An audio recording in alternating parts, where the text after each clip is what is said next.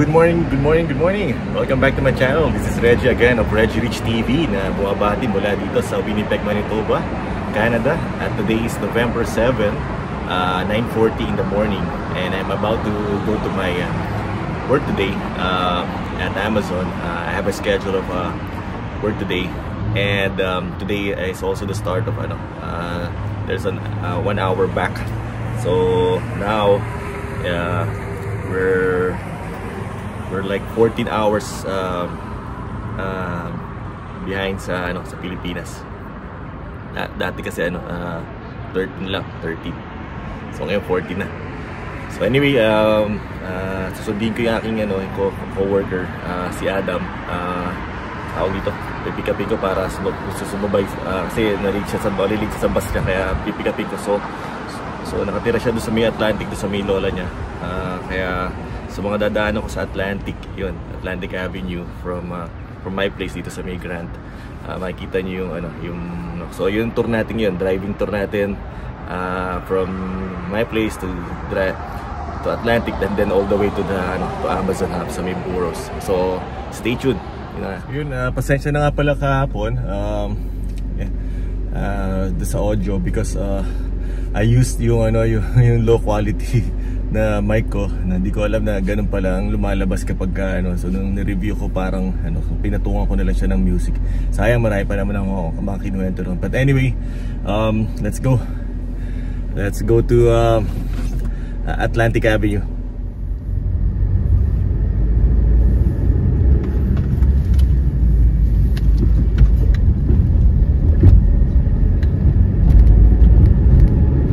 Sunday ngayon, normally ano, nagsisimba kami ni uh, Pagpunta kami ng Springs ni Sally. Kaya lang ngayon, uh, wala si Sally na umuwi sa Pinas. At um, uh, kaya Tapos nagbigyan naman ako ng schedule sa uh, ng work today. Kaya hindi ako makapag ano Pero tawag dito, paging uh, tawag, manino, uh, uh, manonood na lang ako ng uh, video online meron din kasi sila sa ano sa YouTube dun pero iba kasi pag talagang nandun ka iba yung iba yung uh, harap but anyway to uh, let's turn left here at um, Stafford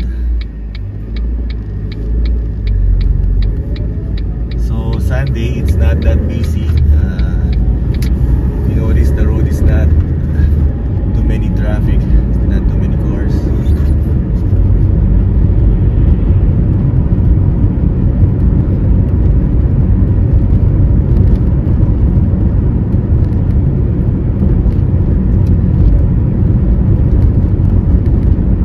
Sayang, dami ko baka namang mga kinukwento kahapon tungkol sa mga buhay-buhay dito. But anyway, tawag dito, um, siguro next uh, video ko ano uh, didiscuss ko yung magkano yung una ko sinahod sa sa Amazon. Uh, para do sa mga gusto mag part-time uh, or full-time. Kasi ano open to eh uh, sa mga part-timers at sa mga gusto sa mga talagang walang trabaho. Ano, talagang naghahanap sila ng driver ano.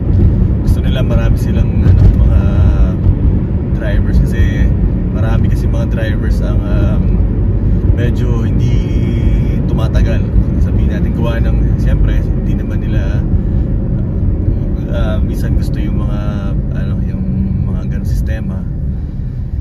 Meron mga gusto sistema. So iba-iba yung mga tao eh. So hindi natin masabi. Ako sa totoo lang gusto ko yung ginagawa ko dito ngayon. Gawa ng uh, nakakatulong sa akin sa health wise nakakatulong sa akin gawa nga ng uh, diabetic ako. So mas gusto ko yung gumagalaw galaw talaga.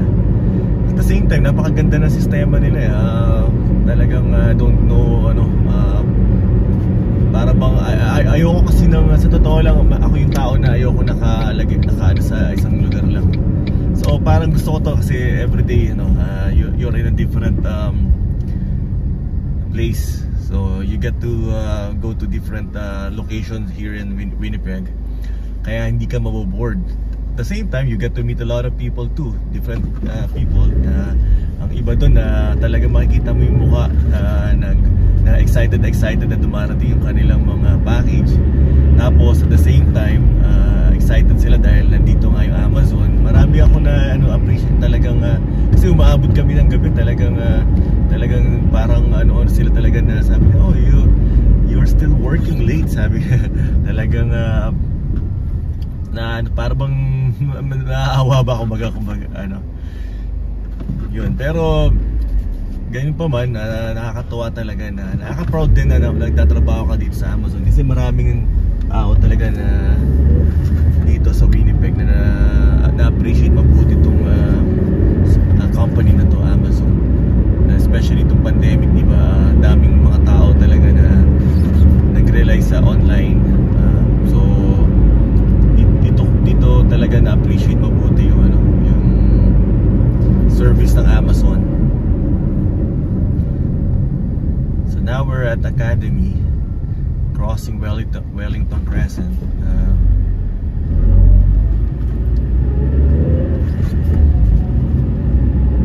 sana nagustuhan niyo yung mga video kahit kahit kahit uh,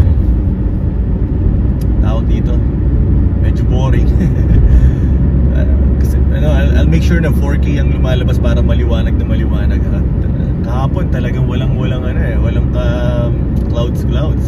Talagang super nice yung weather. Talagang uh, ilan yung naka, ilan yung nag uh, comment sa akin ng mga naka uh, I mean yung nakasalubong ko kahapon ng mga uh, tao kahapon sa mga pinuntahan kong uh, location at sabi na beautiful weather beautiful weather. So talagang ano talagang they take advantage of the beautiful weather. Uh, napansin ko rito yung mga puti talaga. They uh, ano they take advantage of yung mga yung mga ganyang pagkakataon. Lagi sila naglalakad kasi lagi ano yung napapansin ko lagi silang nag uh, nagbabike nag uh, lagi sila may physical activity parati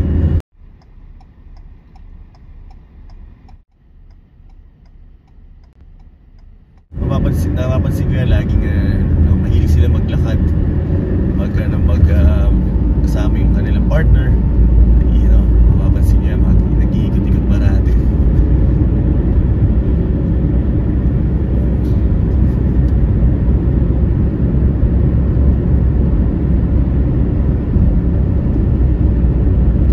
pagka kapag ka naka ikot-ikot ako tingnan ko kung ayun ito mo sa kanan no?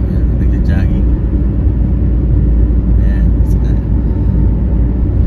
hilig sila ano eh uh, mahilig sila sa mga physical activity talaga actually kahit nga winter nakikita ko pinagja-jogging bar kahit may snow. Kahit may kahit ay ano kahit madulas yung kalsada nag nagja-jogging pa kasi talagang parang very important talaga sa kanila yung ano exercise.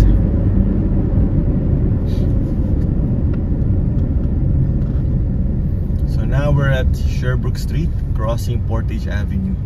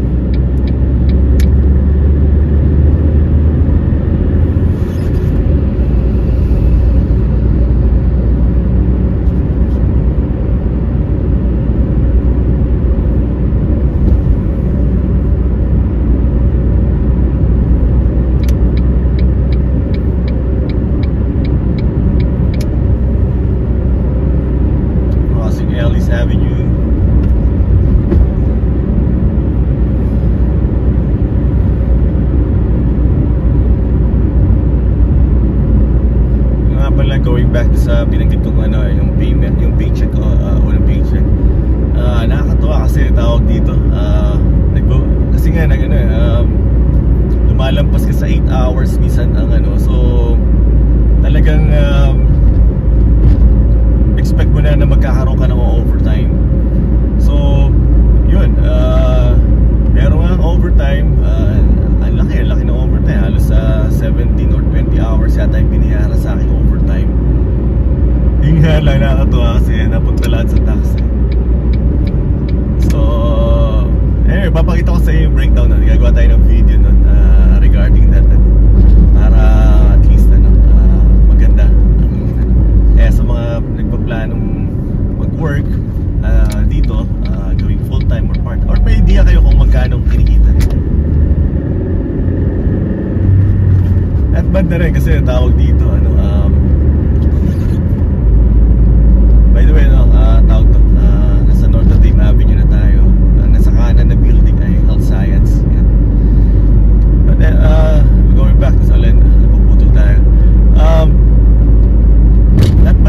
going know.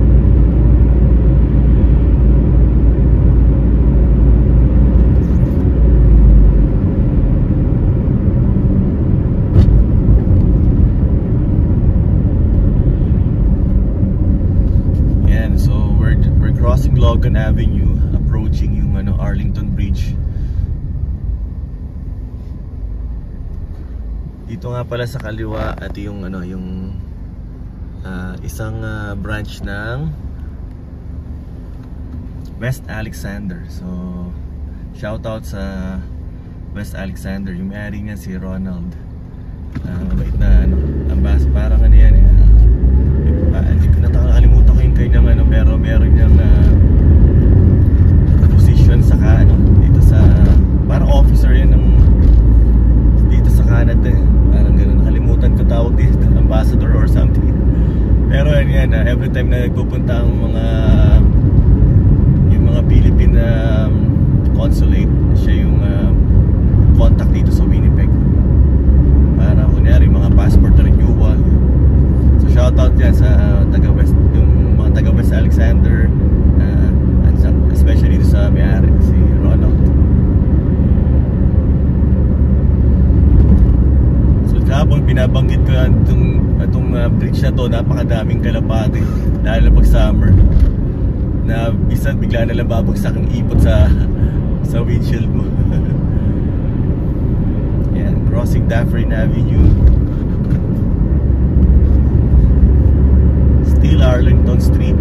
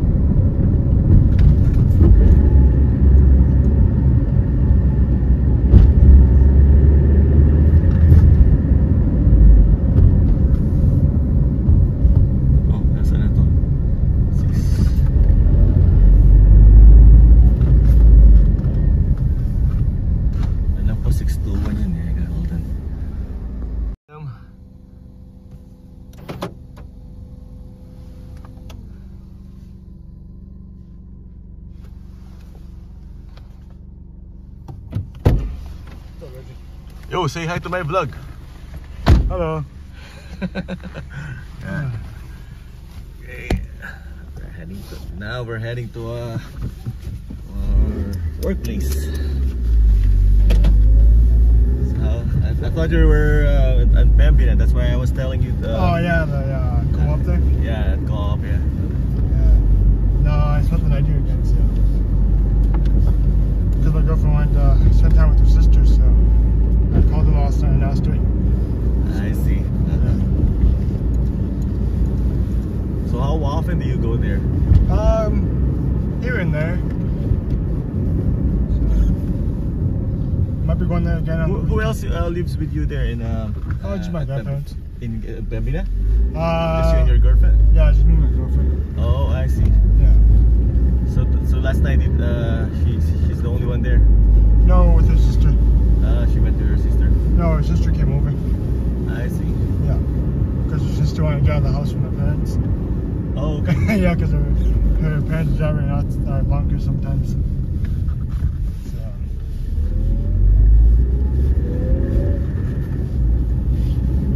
What street is this again? Oh, Atlantic, right? yeah, so I think, yeah. Flips out that way. So I'm doing a a, a video of uh, Of your daily, yeah uh, my daily uh, yeah. and even even my driving tour. Yeah, I watched that. Huh. Interesting. yeah. Because on your day off, you went and uh, you driving around. yes. Whatever, whatever that comes in my mind. Yeah, anyone pops in and going to do my my my um, my videos is a is a mix of everything. you should do your you should do a vlog too. I'm not into that stuff.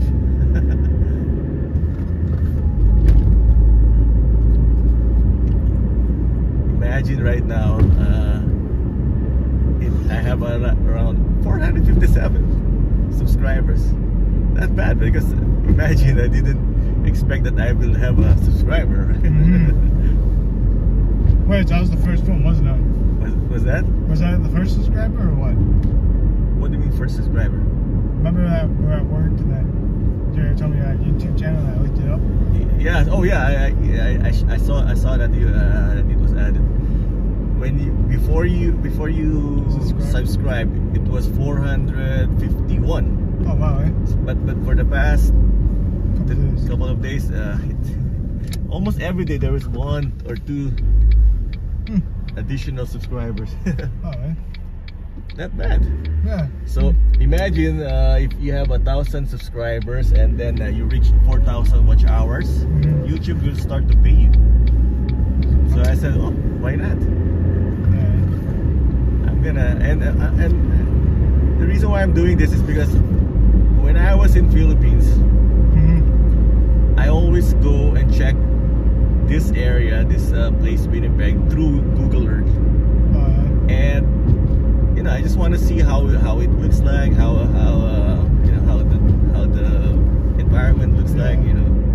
But now with the video, at least people will see. Oh, because a lot of people in Philippines wanted to go and come here, and they have a lot of families here in Winnipeg, and And I some of the experience. yeah, they want to see. Oh, especially your area there, because a lot of Filipinos in your area. Yeah, there's a uh, Filipino couple, uh, couple on the corner of, uh, That place. yeah, just down the street there. Yeah, oh my- and uh, Atlantic there. They're always doing karaoke. Yeah. Oh my God. Yeah. Filipinos are fond of uh, video game. Yeah, like, oh, there, just hear all the karaoke going off. Like, oh, what is it, karaoke right now? so I come here almost every night to hear them playing the karaoke. that, that you can still hear it from your place. Yeah, from their place, yeah, that's how loud they are. Really? Oh my God. Yeah, you should you should complain them. no, not really. Uh, I mean, at least they're not getting complained. Mhm, as far as I know, if, uh, if they're really loud, especially the neighbors. Yeah. But in Philippines, if you go in Philippines, oh my God, it's so crazy there. Like big joke is everywhere, and imagine how loud it is. Yeah. Pretty crazy. I remember when I was um, still living in Philippines, and my and my child was still one year old, I believe. My first child. And at one time, one time, um, there's this, uh, just on the other, on this other side of the street, I can hear them like one o- one o'clock in the morning. They're Wow. still, uh, and it's okay if they're singing nice song, you know, but Yeah. they're already drunk. They're they're Yeah. they're drunk already. They're they're, they're already. Uh, loud there. so uh, what I did, I tried to sneak, went to the police, Mhm. and all the while the police came there, and then they're wondering who called the police.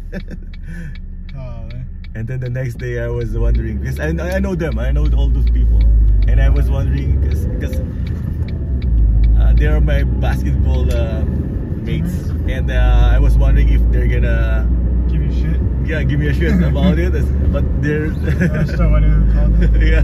Wow. Yeah, I usually catch the 88 here and I get off here and I cross right there. Right Oh, the really? Oh, okay. Yeah, there's an opening right Oh, okay. there. yeah. So. But I totally forgot it was a Sunday today. I oh shit, there's no bus going down this way. Do you know that uh, there was, uh, there's a one hour back? Yeah. Yeah. Yeah, it screwed me up last night. Yeah, what the hell? Am I losing an hour or am I gaining an hour here? Can't even sleep. Yeah, so it was uh, longer hours of sleep. Yeah, I didn't go to bed till like 2.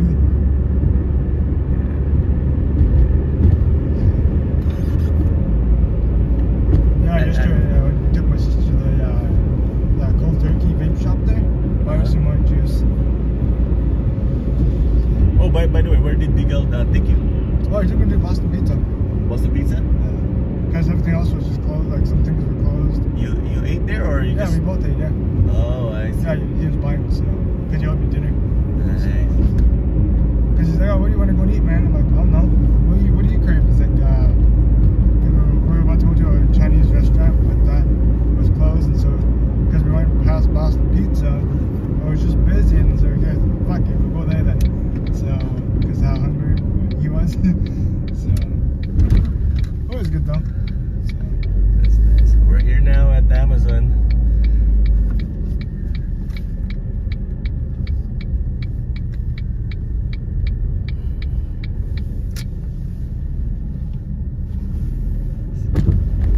Another day, another uh, another day, another dollar. another dollar. okay, thank you for watching. Hope you like it. Bye bye. See you next time.